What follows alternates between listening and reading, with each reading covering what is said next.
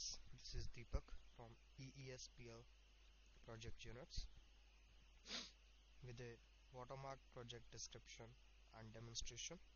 Today I'm working on the invisible watermarking technique named as discrete wavelet transform.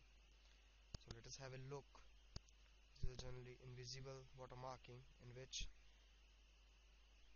discrete wavelet transform is generally used the watermarking is generally related to the secrecy. You can transmit data from this from one place to another. You can use this for the copyrighting process and for the many of the benefits.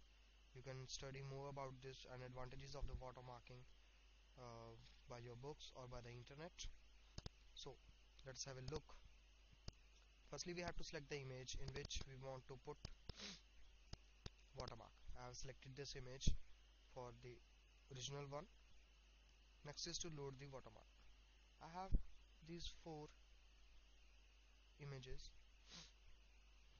I'm going to select this Google as a watermark see there is a concept between this that we have to resize both the images in a fixed format so that we can apply the discrete wavelet transform on this. Next is to apply the watermarking concept see this is the output image in which I have put this watermark. Is this different from the original one? Technically yes. And by the visualization no. Let us see. I have put this image for the extraction procedure also.